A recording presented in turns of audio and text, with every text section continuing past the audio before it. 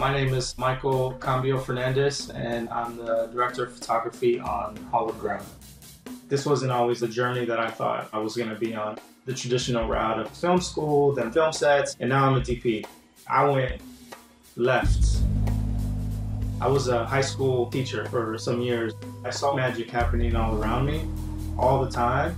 I was always taking pictures, wanting to tell stories, and from there just started to create films which was life changing.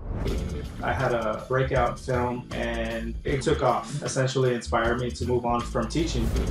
If I had a tip to up and comers is to have a voice, to set an intention, how it's gonna look, how it's gonna feel.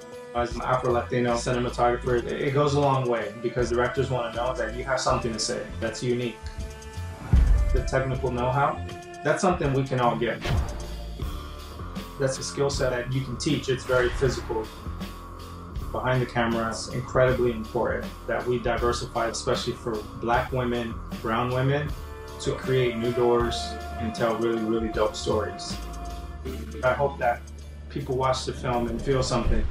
I'm so grateful to be a part of bringing this documentary to life.